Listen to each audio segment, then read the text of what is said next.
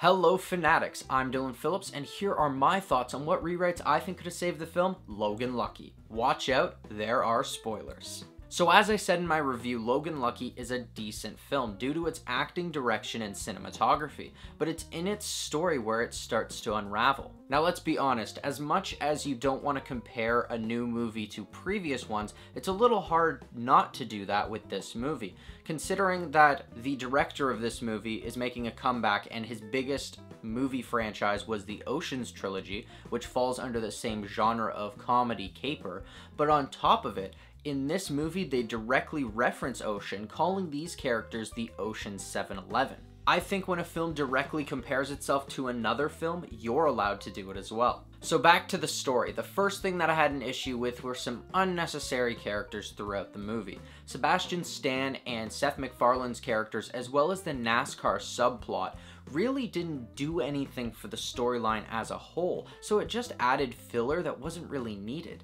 And on top of that, Hilary Swank's character is brought in way too late. For these characters to actually bring something to the story, they have to directly affect the heist or the actual people doing the heist. So let's see if we can try to keep them in. But the biggest issue to me is that there's not really any stakes involved with this heist. You don't need a life or death consequence as that's really overdone, but they just kind of decide to rob NASCAR because they're bored. Channing Tatum's character robs the Speedway not to help his daughter or because he was recently fired, but because he has the free time. What you need is a human antagonist, whether that's Hilary Swank's character coming in a bit sooner or having a different antagonist that's the head of the construction company or the Speedway, similar to Andy Garcia's character in the Oceans franchise. So here's a quick summary on how the new film would look with these couple changes. So more or less you'd have the same storyline with the same relationships, particularly the ones between Channing Tatum and his daughter and Channing Tatum and his brother. However, you have to change why they're doing it. Tatum gets let off because of liability reasons due to his bum knee. And then he just decides, well, I'm gonna rob the Speedway, when it's not really even the Speedway that's firing him, but it's the construction company that's been hired to do the job. So why not add a little bit in there?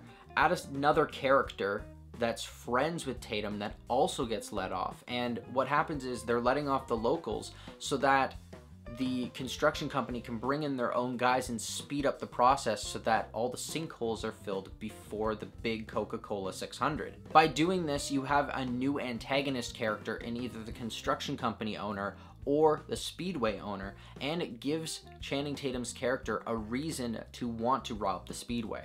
Tatum feels cheated out of his job, so he convinces his brother and his other fired friend to join him in this heist. In terms of Hilary Swank's character, she needs to come in much sooner, as the last 20 minutes did not give any tension whatsoever because we knew they got away with it. Even with her sitting there at the end, I just didn't care enough. So what I think is they said in this movie that they switched the dates from one of the least busy days for this speedway to one of the most busy days. In fact, it's the biggest race that occurs at this speedway, the Coca-Cola 600. And yet throughout the entire movie, they only deal with two security guards after saying that this place has its own police force. Instead, she should be there merely by coincidence and stumbles upon clues that a heist is happening. What she should be there for is she's actually investigating Seth MacFarlane's character and his sketchy money laundering scheme that revolves around his alcohol, which he has brought Sebastian Stan into unknowingly. It allows her to be at the speedway while the heist is happening and keep those other two characters in the film. The film should end more or less the same with Tatum giving the majority of the money back, although in a more symbolic FU fashion. With these changes, I believe this film could have been a lot more entertaining and had a lot more tension during the actual heist rather than feeling like it was dragging on. Unnecessary characters would feel better utilized and the reasons behind the heist would seem more justified and allow us to invest more in these characters. Anyways, that's my rant on Logan Lucky and what rewrites I think could have saved the story. If you've seen Logan Lucky, what did you think of the story and what rewrites would you make to fix it? Let us know in the comments below. And as always, thanks for watching. If you like this video and you want to see more, hit that like button and subscribe to our channel. Check out our Film Fanatic review where we discuss the film Logan Lucky. Don't forget to follow us on our social media. And until next time, Fanatics, keep it real.